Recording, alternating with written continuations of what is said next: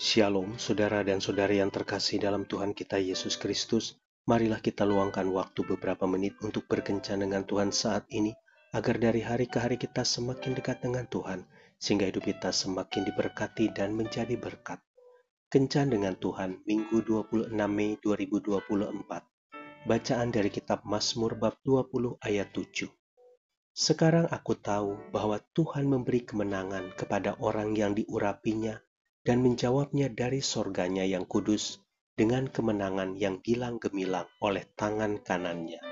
Demikianlah sabda Tuhan, syukur kepada Allah. Saudara dan saudari yang terkasih dalam Tuhan kita Yesus Kristus, di dalam kitab 1 Samuel bab 15 dikisahkan Saul dapat mengalahkan orang Amalek. Saul tentu dianggap sebagai raja yang sukses oleh rakyatnya. Namun sayang tidak demikian Tuhan memandangnya. Mungkin rakyat bersorak-sorai atas kemenangan yang diraih oleh Saul, tetapi Tuhan justru menyampaikan kekecewaan hatinya kepada Saul. Melalui Samuel, Tuhan mengatakan bahwa ia menyesal telah menjadikan Saul menjadi raja. Itu terjadi karena Saul tidak melaksanakan perintah Tuhan dengan benar. Tuhan memerintahkannya untuk menumpas habis seluruh orang Amalek beserta segala kepunyaan mereka. Sementara yang Saul lakukan justru membiarkan Agag, raja orang Amalek tetap hidup, beserta dengan kambing domba dan lembu terbaik.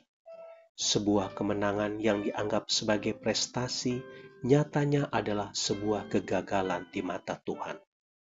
Saudara dan saudari yang terkasih dalam Tuhan kita Yesus Kristus, jika seseorang sukses menurut pandangan manusia, tetapi tidak sukses di hadapan Tuhan, maka kesuksesan itu semu. Terbukti setelah itu Tuhan tidak lagi menganggap Saul sebagai raja, hati rakyatnya pun menjauh darinya. Berbeda jika Tuhan yang memandangnya sebagai kesuksesan. Bahkan bila ribuan orang menentukan kegagalan, Tuhan dapat mengubahnya menjadi prestasi yang membanggakan seperti yang dilakukan Tuhan terhadap Daud. Di saat banyak orang merasa yakin Daud akan gagal mengalahkan raksasa orang Filistin, Tuhan justru memberikan kesuksesan kepada Daud. Saudara dan saudari yang terkasih dalam Tuhan kita Yesus Kristus, jadi kesuksesan yang sejati bukanlah terletak pada penilaian manusia, melainkan pada perkenanan Tuhan. Tidak peduli sehebat apa kita di mata dunia, Bila kita gagal di mata Tuhan, maka sia-sialah semuanya itu. Mungkin saat ini di pemandangan orang, kita adalah pebisnis yang sukses, seorang pemimpin yang cakap dan mapan, seorang karyawan yang rajin, seorang mahasiswa yang berprestasi, bahkan di dalam pekerjaan Tuhan dengan pelayanan yang kita lakukan, orang lain menganggap kualitas hidup rohani kita baik.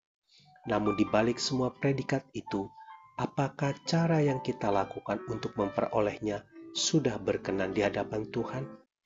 Mari selidiki hati kita, karena kesuksesan seperti apa yang kita capai hanya hati kitalah yang mengetahuinya. Bila kesuksesan yang kita raih saat ini tidak berkenan di hadapan Tuhan, maka mintalah pengampunannya. Tuhan Yesus memberkati. Marilah kita berdoa dalam nama Bapa dan Putra dan Roh Kudus. Amin. Tuhan Yesus, aku mohon ampun karena untuk memperoleh kesuksesan saat ini, aku pernah menggunakan cara-cara yang salah. Amin. Dalam nama Bapa dan Putra dan Roh Kudus. Amin.